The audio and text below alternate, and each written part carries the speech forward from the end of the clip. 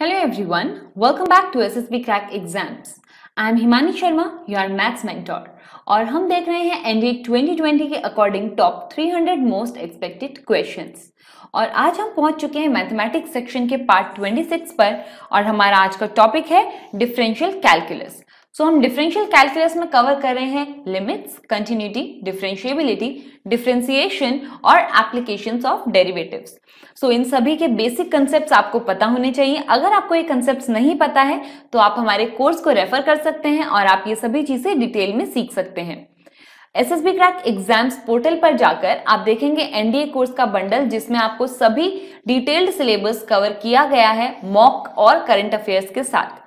आपको बस हमारी वेबसाइट पर विज़िट करना है, वहाँ पे जाके कोड अप्लाई करेंगे वॉरियर टेन तो आपको मिलेगा एक्स्ट्रा टेन परसेंट डिस्काउंट और ये सभी कोर्सेज के लिए वैलिड है तो चलिए देखते हैं आज का हमारा पहला question if F of X is equal to sine of greatest integer of X upon greatest integer of X such that greatest integer of x is not equal to 0 and 0 when greatest integer of x is equal to 0. So, आपको एक function define किया गया इस तरीके से और इसकी value greatest integer of X जब भी ज़ीरो होगा, उस पर्टिकुलर केस में ज़ीरो दे रखी है, क्योंकि अदरवाइज़ डिनोमिनेटर ज़ीरो हो जाएगा तो ये डिफाइन ही नहीं होगा। So just to define this ये गिवन है where this greatest integer of X is defined as greatest integer less than और equal to X then limit of x tending to zero F of X is equal to one 0 minus 1 और none of these. So आपको basically limit of x tending to zero F of X बतानी है इस particular function के लिए. सो so, निकालना क्या है? Limit of x tending to zero sine of greatest integer of X upon greatest integer of X अब लिमिट एग्जिस्ट कब करती है? जब लेफ़्ट हैंड लिमिट और राइट हैंड लिमिट दोनों इक्वल आ जाए. तो आपको इसकी लिमिट निकालनी है. तो जब भी आप इन दोनों में से किसी को भी निकालेंगे सेम आनी चाहिए। तो सबसे पहले आप इसकी एग्जिस्टेंसी चेक कर लीजिए। अब limit of x tending to zero negative यानी इसकी लेफ़्ट हैंड लिमिट हम वो निकालने की कोशिश करेंगे। तो वो क्या आ जाएगी?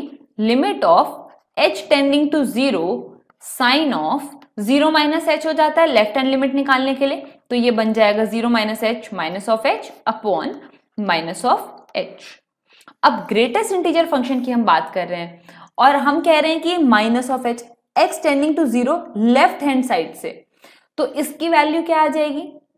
जब भी आपका ग्रेटेस्ट इंटीजर फ़ंक्शन ज़ीरो से सॉरी माइनस वन से ज़ीरो के बीच में लाया करता है तो वैल्यू ये लेता है माइनस ऑफ़ वन और आप ग्राफिकली अगर इस चीज़ को देखेंगे तो ये आएगा ज़ीरो ये है आपका माइनस वन ये है आपका वन सो ज़ीरो से वन के बीच में ग्रेटेस्ट इंटीजर आपकी वैल्यू लेता है ज़ीरो बट माइनस वन से ज़ीरो के बीच में ज़ीरो नहीं आती है वैल्यू आती है माइनस ऑफ़ वन सो ये जो आपकी वैल्यू आएगी, ये आ जाएगी limit of h tending to zero sine of ये आ गया आपके पास में minus of one divided by minus of one तो ये sine of sine of minus of theta क्या होता है? माइनस ऑफ़ साइन थीटा होता है।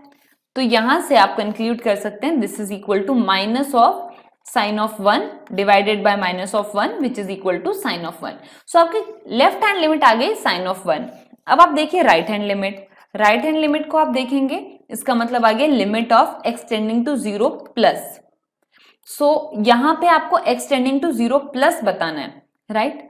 और x tending to zero plus यानी आपको लिमिट निकालनी है इसकी। ये क्या दिया हुआ है? आपको, आप इस क्वेश्चन को थोड़ा सा ध्यान से देखिए। इस क्वेश्चन में आपको ये दे रखा है कि अगर इस चीज़ को डिकोड करेंगे तो आप लिख रहे हैं x belonging to minus infinity to zero union one to infinity right तो आपको ये वाली लिमिट जो है वो दे रखी है zero so this is equal to zero कैसे? मैंने अभी अभी आपको बताया था ज़ीरो से वन के बीच में ग्रेटेस्ट इंटीजर की वैल्यू मिलती है आपको ज़ीरो और यहाँ पे आप ज़ीरो प्लस की साइड से अप्रोच कर रहे हैं? यानी आपने इंटरवल सेलेक्ट कर रहा है ज़ीरो से वन तो यानी ग्रेटेस्ट इंटीजर की वैल्यू आएगी आपकी ज़ीरो और जब भी ग्रेटेस्ट इंटीजर की वैल्यू ज़ीरो आपको फ़ंक्शन में ऑलरेडी क्वेश्चन डिफाइंड है कि फ़ंक्शन की वैल्यू आपको ज़ीरो मिल जाएगी।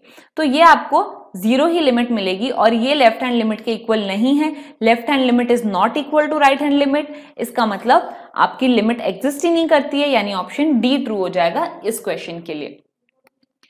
तो अब देखते हैं हमारा अगला question if greatest integer dot denote the greatest integer function and f of x is equal to greatest integer of tan square x then limit of x tending to 0 f of x does not exist f of x is continuous at x is equal to 0 f of x is not differentiable at x is equal to 0 or f dash x that is f dash 0 is equal to 1 तो basically क्या करना है इस question में? आपको इस function पे ध्यान देना है। देखिए, थोड़ा ध्यान से इसको।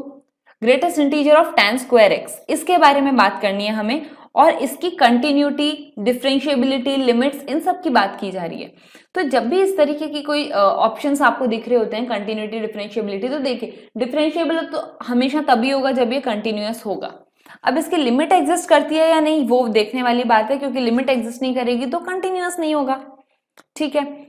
तो हमें ग्रेटेस्ट इंटीजर फ़ंक्शन की बात करनी है और लिमिट टेन करवा रहे हैं हम एक्सटेंडिंग टू ज़ीरो पे।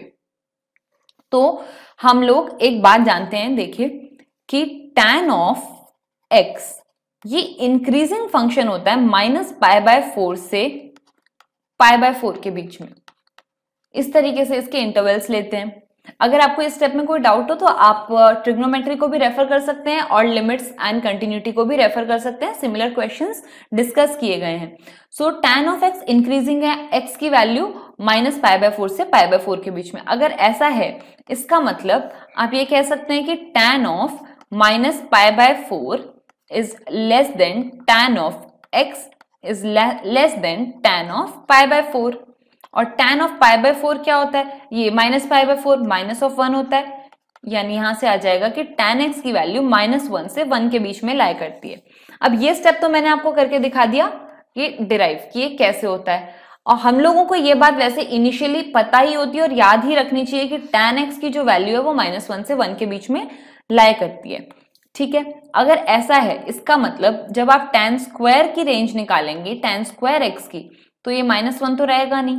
तो जो इन बिटवीन पॉइंट्स आएँगे वो ज़ीरो हो जाएँगे सो ज़ीरो से वन के बीच में टेन स्क्वायर एक्स की वैल्यू लाई करती है। अब ज़ीरो से वन के बीच में अगर टेन स्क्वायर एक्स लाई करता है आप इसका ग्रेटेस्ट इंटीजर अब कंसीडर करना चाह रहे हैं so greatest integer of tan square x की अब बात कीजिए।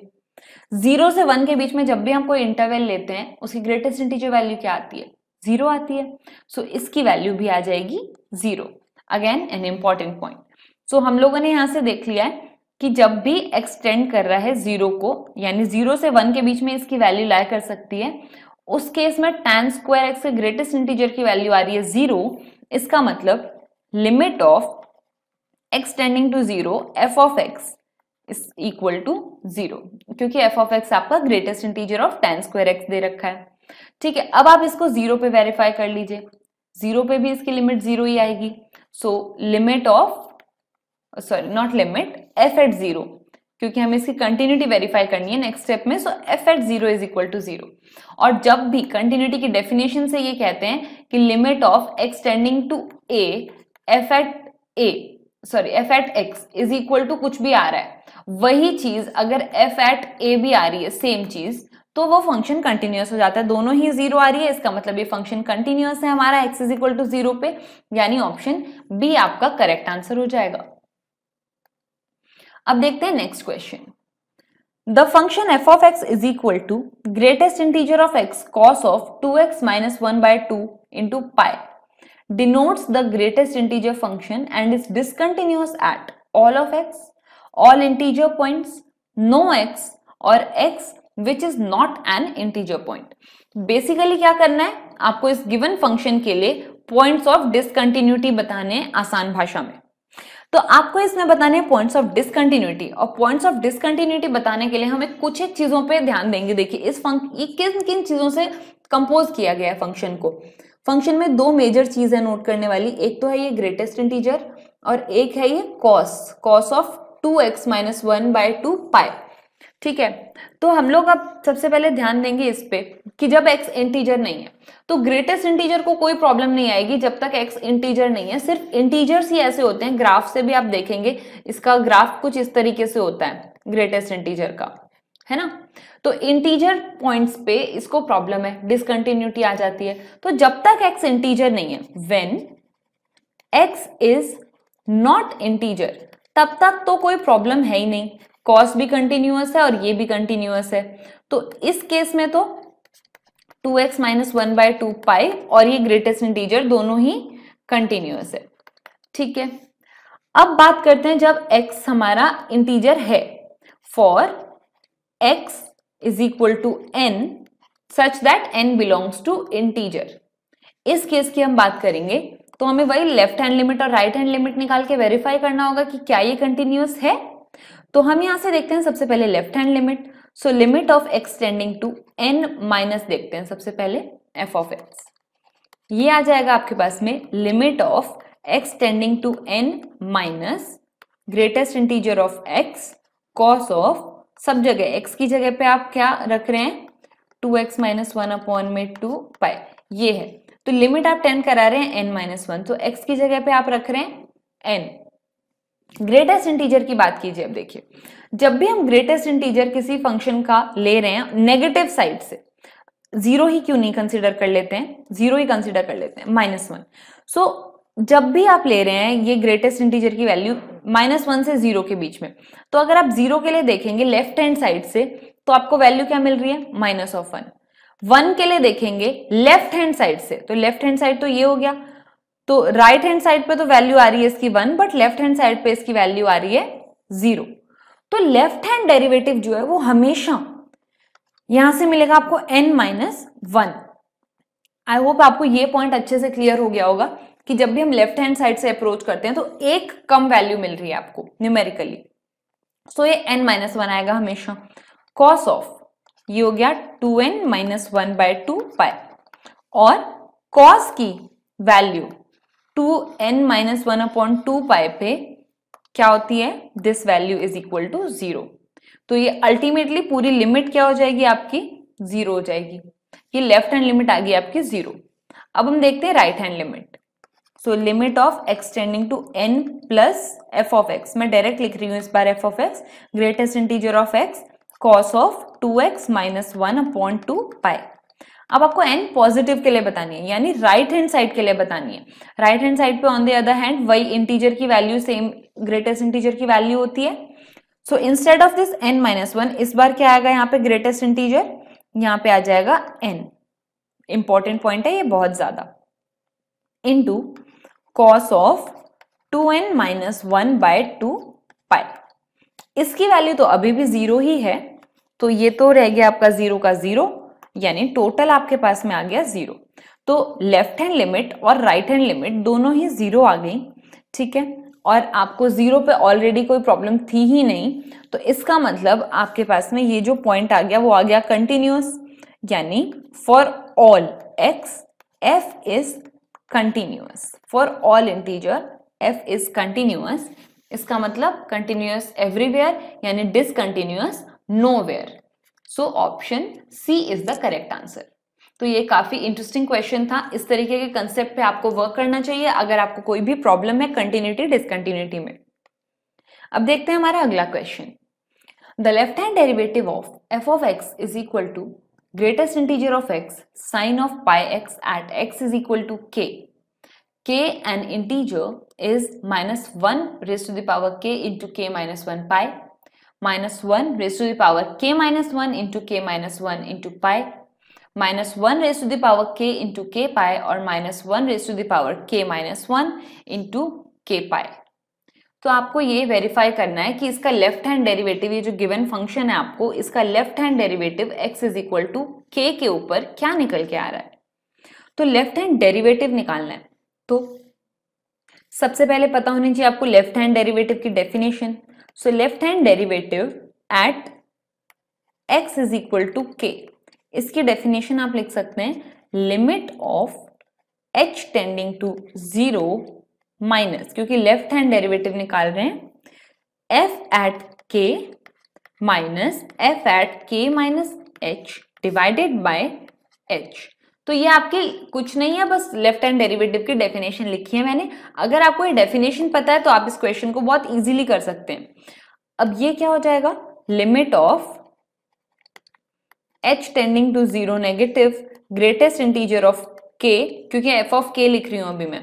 So sine of pi into k ये तो हो गया आपका f of k minus f of k minus h लिखना है। So greatest integer of k minus h into sine of k minus h into pi divided by whole divided by h right तो ये क्या आएगा?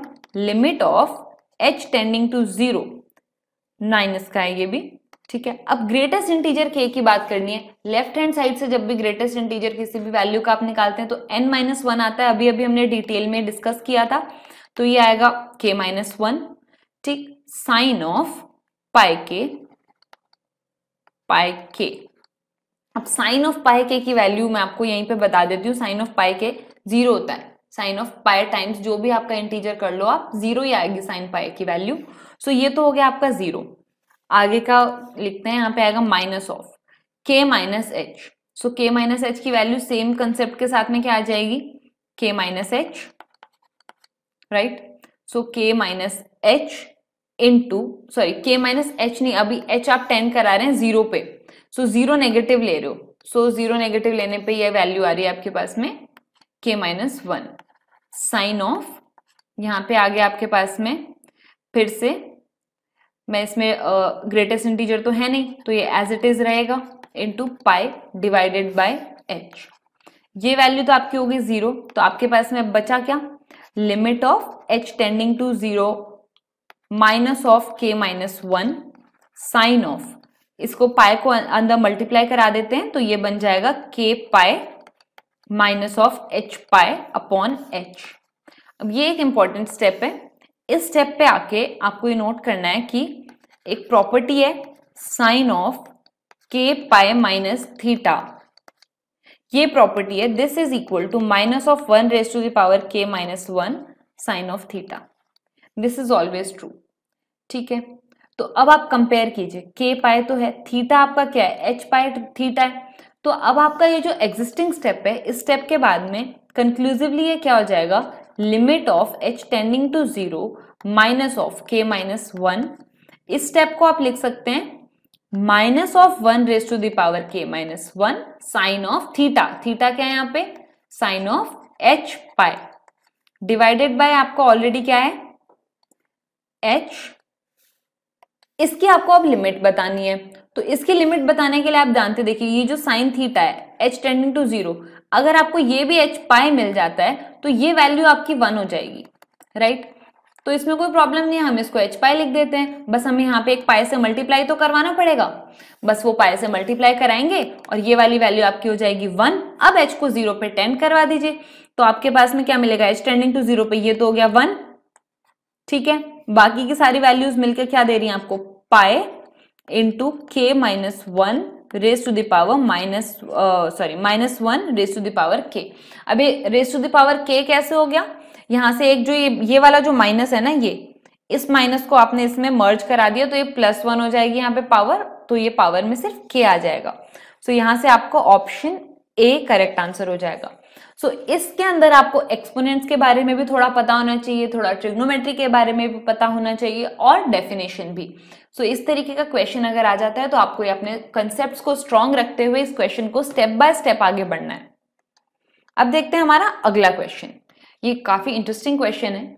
Let f is defined from R to R यानी real से real पे एक define किया function such that f of x is equal to maximum of x comma x cube the set of all points where f of x is not differentiable is minus one to one minus one to zero zero one minus one zero and one अब आप सबसे पहले तो options को ही थोड़ा ध्यान से देखिए। सारे के सारे करली ब्रैकेट्स में गिवन है।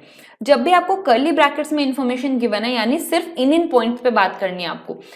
नॉन डिफरेंशिएबिलिटी के पॉइंट्स इन्होंने दे रखे हैं माइनस वन और वन माइनस वन और ज़ीरो ज़ीरो और वन और माइनस वन, ज़ीरो, वन। सबसे पहला पॉइंट यही क्लियर होना चाहिए। अब इसके बाद में फ़ंक्शन बड़ा इंटरेस्टिंग दे रखा है। इन्होंने फ़ंक्शन दे रखा है maximum of x comma x cube तो इन दोनों में से जब भी, जो भी वैल्यू बड़ी आ रही होगी, उसी वैल्यू को आप फ़ंक्शन के अंदर मान लेंगे। तो अगर मैं इसको फ़ंक्शन की फॉर्म में लिखूं तो सबसे पहले मैं आपको ये लिखना ही सिखाते हैं। देखिए एक्स और एक्स क्यूब में अब जब भी वैल्यू एक्स की लेस देन माइनस वन है तो क्या होगा? लेस देन माइनस वन पे एक्स बड़ा रहेगा। एक्स क्यूब छोटा रहेगा। फिर जब माइनस वन से ज़ीरो के बीच में बात करेंगे तो एक्स क्यूब ऊपर आ जाएगा ग्राफ के हिसाब से तो एक्स क्यूब आएगा। फिर यहाँ एक्स आएगा, जब ज़ीरो से एक्स के बीच में लाई कर रहा है, और एक्स क्यूब आएगा हमेशा जब एक्स वन से बड़ा हो जाएगा। अगर आपको यहाँ पे कोई डाउट रह गया तो मैं आपको ये चीज़ ग्राफिकली समझाऊँगी। क्योंकि जब भी हम डिफ्रेंशिएबिलिटी का कंसेप्ट ग्राफ के थ्रू अप्लाई करते हैं तो काफ़ी इजी और अच्छा आंसर आता है आपको। देखिए, अब आपका अगर ये है आपका ग्राफ मैं इसको वन पे बना लिया इसको, ये भी वन पे ले लेते हैं और ये ज़ीरो पे। अब ज़ीरो से वन के बीच में एक्स क्यूब कैसा रहता है ये ग्राफ ये इस तरीके का ग्राफ होता है। ऐसा। और बाकी के टाइम पे ये एक लाइन है आपके पास में। क्यों? क्योंकि ये एक्स है तो y is equal to x तो एक लाइन होती है ना? ये एक लाइन है बाकी के पूरे टाइम ठीक है? सो ये इस तरीके से। अब आपको मैक्सिमम का कर्व बनाना है। सो मैक्सिमम में क्या आएगा? इसमें तो यही है, ऊपर। इसमें ये ऊपर चला गया।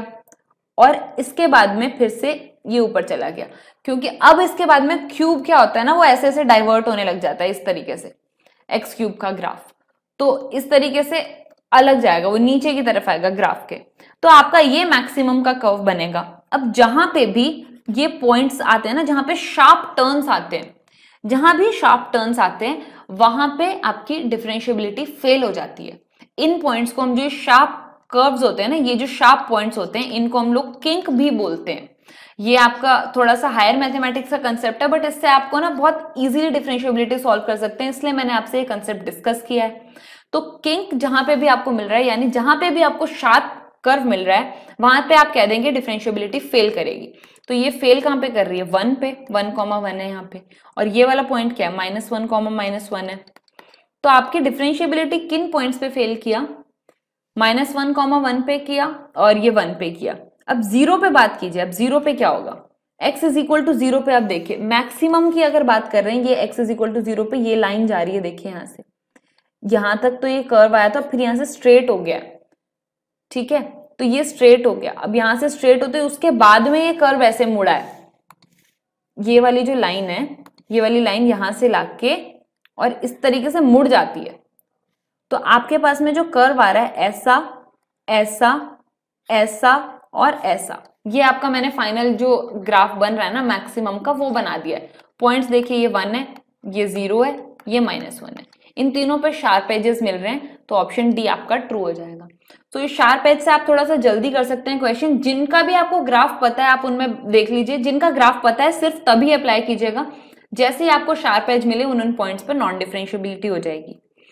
तो आई होप आपको ये लेक्चर पसंद आया हो, आपने कुछ नया सीखा और अगर आपको ये लेक्चर पसंद आया तो प्लीज़ लाइक शेयर सब्सक्राइब और कमेंट्स में हमें बताइए कि आपको ये सीरीज़ कैसी लग रही है।